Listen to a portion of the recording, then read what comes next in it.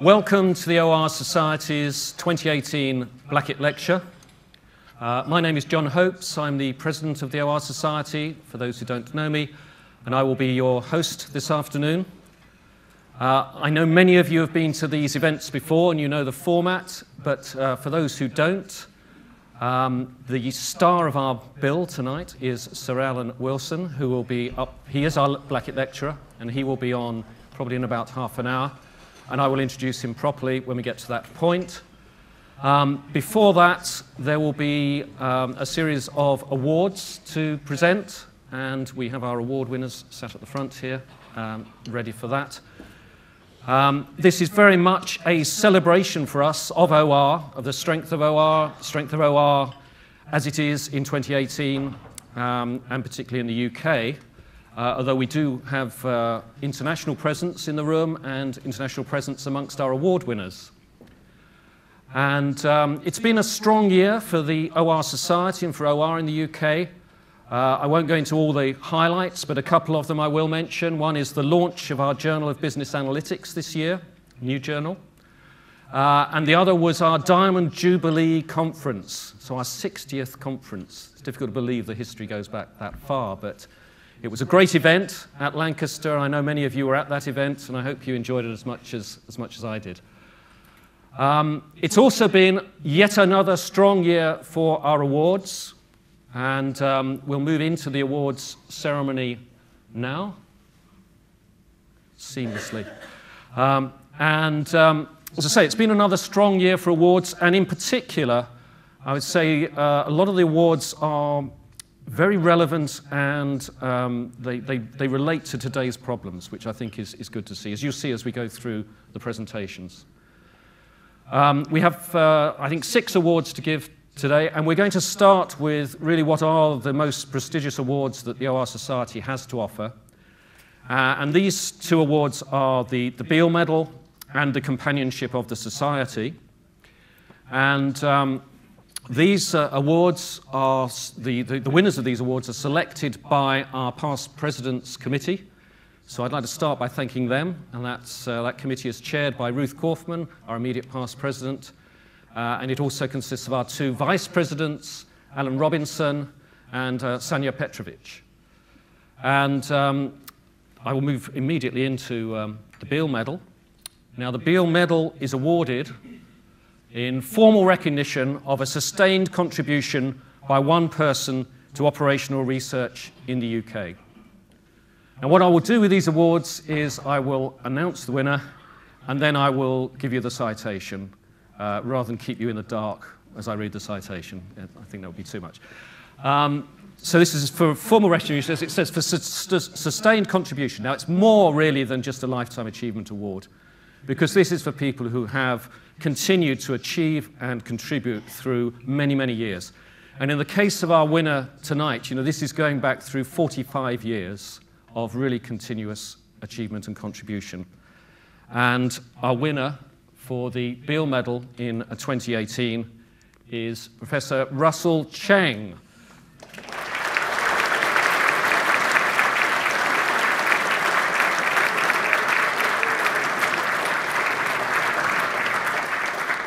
Now, I will say a few words about Russell before uh, presenting him with the award. Um, I think of Russell very much as Mr. Simulation, and I think many in the room probably share that view of Russell. He's played a major role in developing simulation uh, for both academic and industrial use, as I say, over 45 years, starting uh, back in 1973, following the completion of his PhD at the University of Bath. And he is still contributing today, remaining active as the Emeritus Professor at the University of Southampton. Uh, Russell's main contributions in terms of his research work have been in computer generation of random variables, design and analysis of computer simulation experiments, estimation of non-standard problems, which features in his most recent book, Non-Standard Parametric Statistical Inference. That's a free advert for Russell. Um, computer-generated imagery. And really, I think in the UK, his contribution has been across a number of different domains through his uh, academic leadership, through simulation societies, through journals, conferences, the PhD supervision and development, and in practice as well.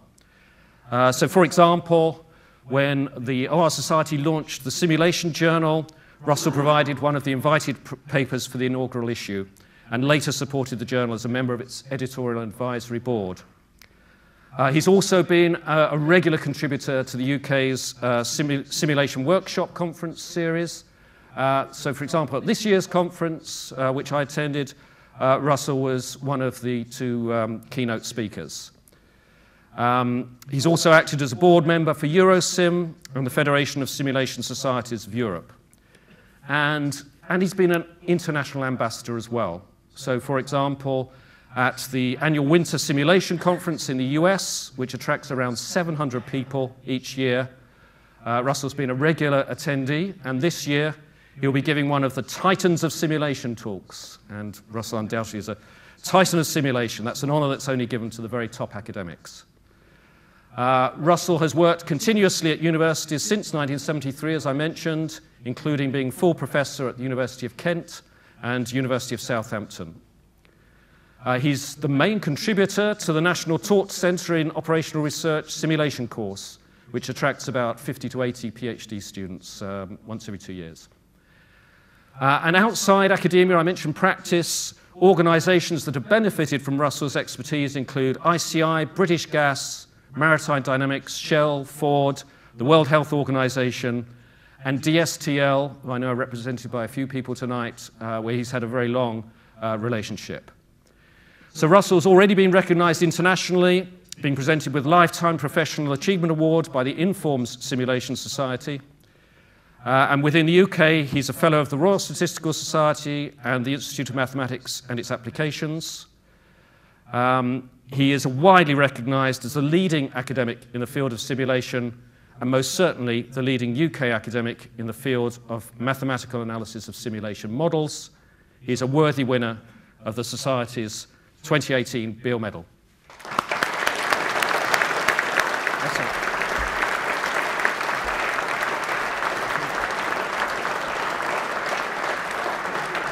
Come up?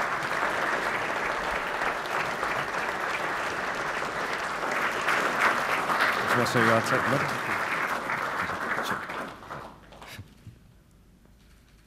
Okay. Congratulations. Thank you, Thank you very much, Russell. Thank you. Oh, more, more photos. okay. Thank you. Thank you. Thank you.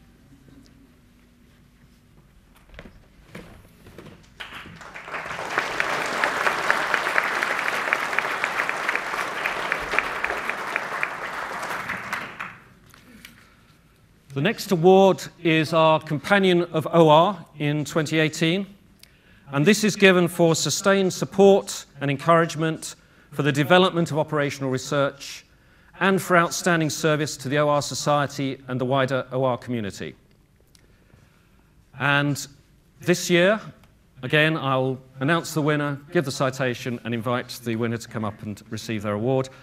This year, the winner is Paul Harper, Professor of.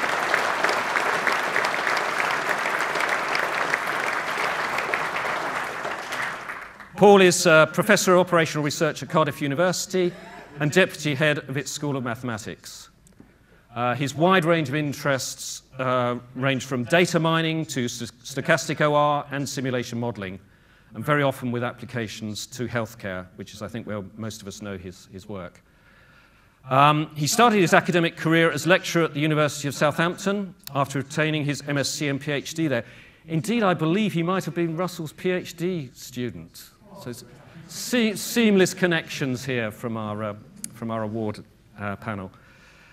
Um, and, and in fact, while at Southampton, you also won one of our other awards that you'll be seeing a bit later, the Goodeve Award.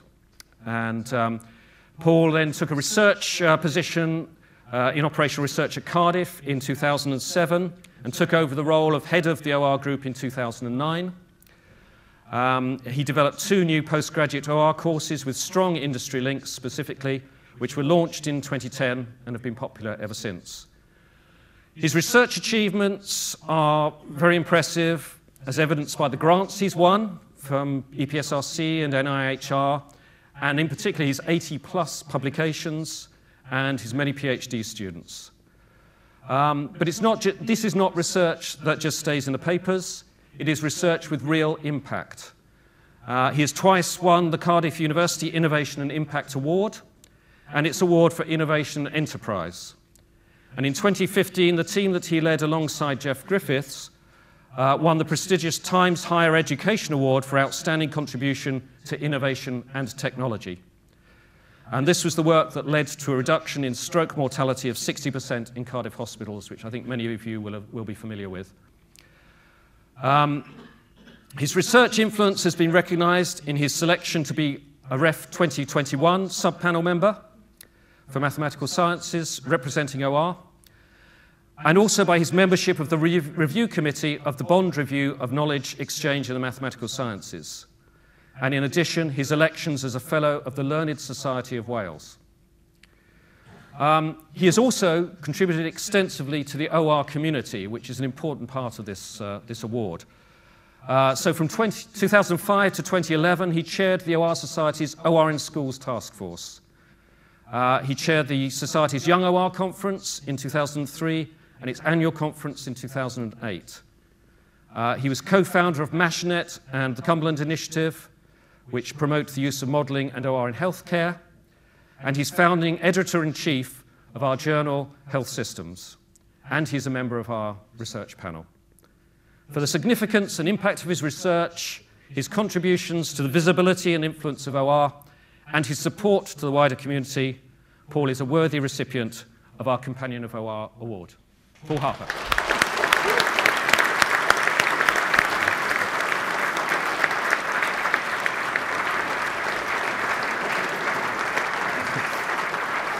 I'll hand you this.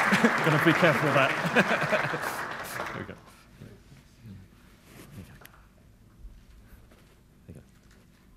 Congratulations. Okay. And this is the, the wonderful prize. There we go. Okay.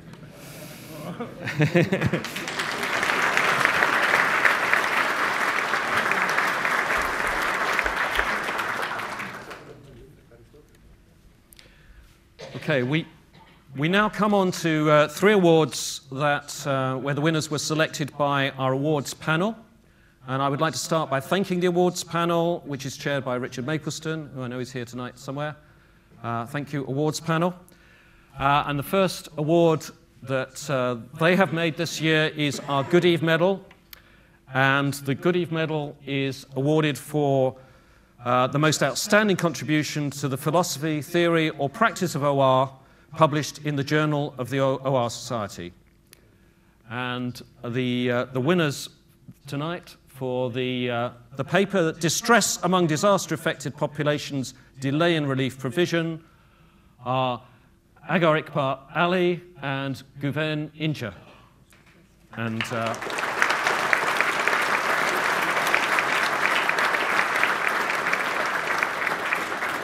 Now, I mentioned that the awards tonight are, are, particularly relevant and topical, and I think this is, this is no exception.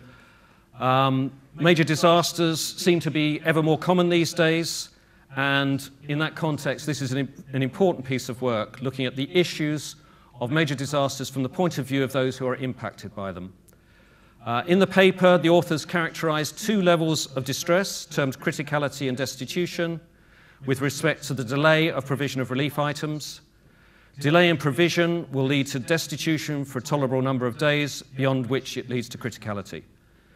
They developed a mixed integer goal program that quantifies these two metrics with respect to the number of days without provision of each of a set of relief items. And the model determines the allocation of resources and the distribution of available relief items in a manner that minimizes criticality and destitution in affected population seg segments. Um, this is illustrated in their paper by use of a fictional catastrophic earthquake in a major city, which emphasizes, I think, the applicability and importance of this work. Um, so I would like uh, Agha and Guven to come up and receive their award.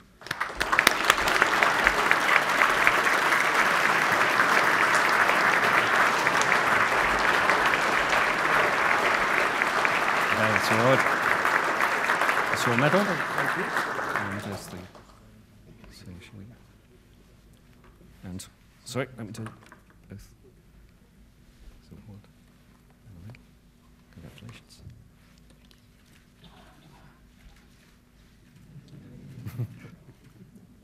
okay, thank you very much.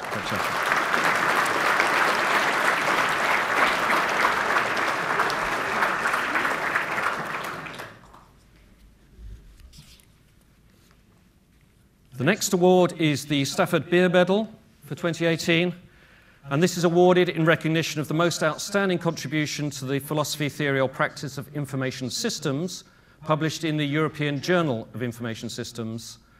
And the winners for that one for the paper examining the intended and unintended consequences of organizational privacy safeguards are Rachida Parks, um, Zhen Zhu, Chao-Hsien Chu, and Paul Benjamin Lowry.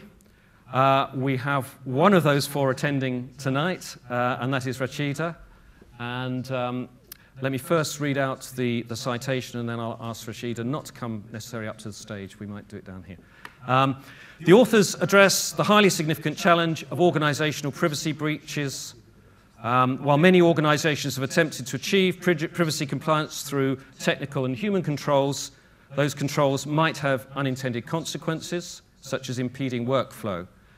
And the authors explore this tension in their work using grounded theory to investigate the consequences of enacting privacy safeguards in medical practices. And they present a new theoretical framework that explains the unintended consequences of privacy safeguards enactment and highlight an imbalance challenge that occurs when these unintended consequences outweigh the intended consequences of the privacy.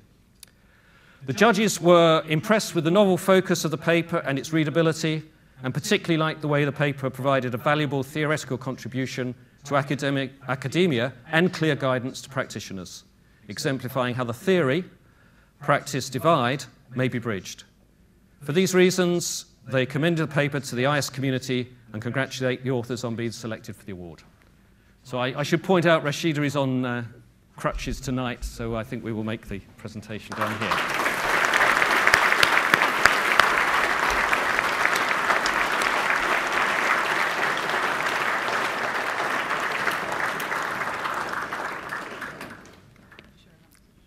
You okay? Do you want to? Can you say that? Yeah. There we go. Okay.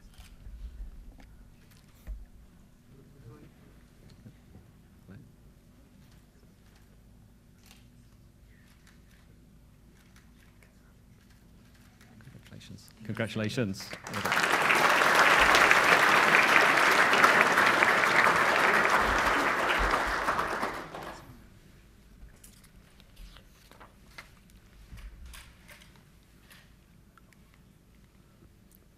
Our next award is the Cook Medal for 2018. And this is awarded in recognition of the most outstanding contribution to the philosophy, theory, or practice of knowledge management, published in Knowledge Management Research and Practice. And the winners of this award for the paper Knowledge Development and Advice Networks in Professional Organizations are Fausto Di Vincenzo from D'Annunzio University and Daniela Mascia from the University of Bologna. Uh, and I think Fausto is here. Yeah, Fausto. Um, so this uh, paper explores personal advice networks developed by a community of hospital physicians in Italy using a combination of social network analysis and regression models to document how the level of knowledge development and the extent to which knowledge is distributed uh, is related to the redundancy of their advice networks as well as to the different, different uh, professional groups that people belong to.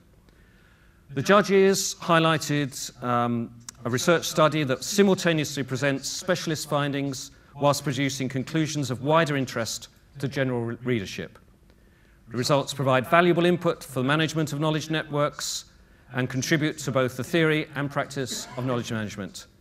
And I would like to invite Fausto to receive his uh, award.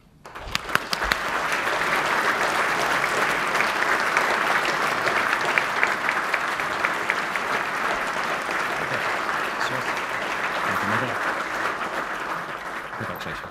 Well done. Congratulations. Congratulations.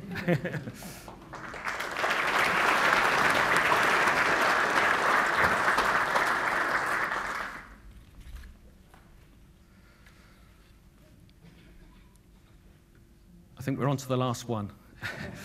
um, but it's a slightly different one, this one. So this is the, uh, the President's Medal.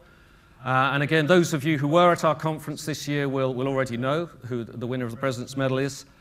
Um, but we didn't make the award, we didn't present the award at the, at the conference. Um, this, this award, uh, as I say, it's slightly different because it's a competition. And uh, this year we had a strong entry for the President's Medal, which is awarded for the best account of successful OR practice entered for the competition and presented at the OR Society's annual conference. So it's very much practical case study based. Uh, as I say, we had a strong entry, and we in fact had a pre selection before the conference to narrow it down to a short list of three, which all presented at the conference, and then the, uh, the jury, chaired by me and assist, ably assisted by Alan Robinson and Sanja Petrovic, uh, then chose our winner. Um, and the, the, the, winner of the President's Medal this year, and I should say that there are also two runners up, who I will also be awarding uh, uh, certificates to. But the winner of the President's Medal this year for uh, the paper Repurposing the Radio Spectrum, Delivering on the Promise of Next Generation Mobile Services, is a group of people who at the time were all working at the Smith Institute, and most of them still are. Uh, Robert Leese, Jakob Blaavand, Claudius Centasso, Andre Bejan, and Paul Monday. Um, I'll just say a few words about the, uh, the project for those who weren't at the conference and didn't see the presentation. Um, this is a project that provided optimization and algorithmic support to a unique $19.8 billion two-way auction of part of the radio frequency spectrum in the United States. Um, you know, this impressed uh, the judges in, in a number of different ways. There were some very tough technical challenges to overcome to ensure that the optimizations were error-free, would maximize the amount of spectrum that could be made available, and would run fast enough to meet the demands of the auction. If ever there was a project that had to get, the, get it right first time, this was the one, uh, and it did. Um, and the project actually shaped the industry that it was focused on for the next 10 years, involving 3,000 TV stations and 62 mobile operators. Uh, the complexity was significant, requiring technically innovative solutions. It was also of critical importance to the US government, uh, generating $7 billion surplus for the US Treasury. Um, it had an immovable and publicly announced end date. Um, you know, we all like working to, uh, to targets, but this was, this was a tough one.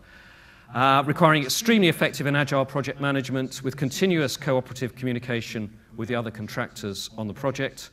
And it's for this combination of technical challenge, degree of innovation, scale of benefit delivered, and quality of project management that the judges uh, agreed that this OR support to a unique two-way auction was a worthy winner. So I'd like to welcome Robert and his team to, uh, to come and receive their award.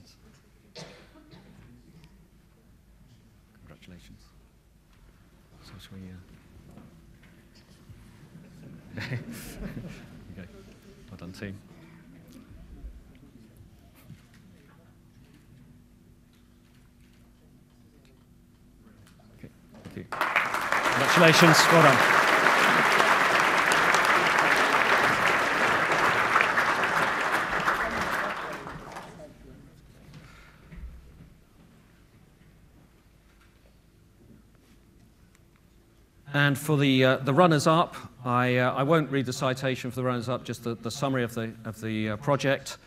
Uh, as I say, we had two runners-up, two equal runners-up, um, and the, uh, the first one for uh, transforming a national institution, a case study of ORBEC's best practice and engineering expertise to improve the waterways of England and Wales. And I'd like to welcome Ian Griffiths, James Anderson, Richard Wakeland, Sheena Wilson, um, or at least those who are here. I think all of you are here, yes?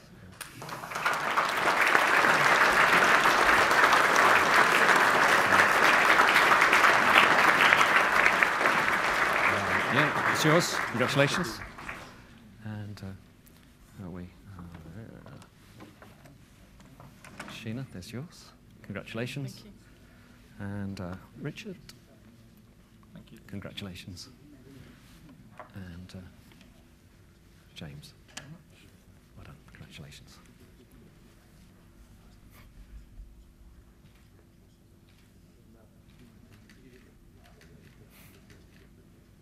Thank you very much.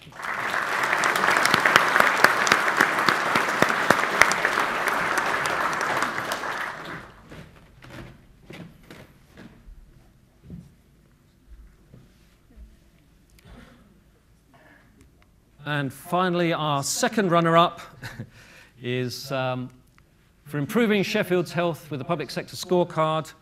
Max Moullin and John Soady. I think Max is here and John isn't. Um, so, Max, if you'd like to come up and get your award. Over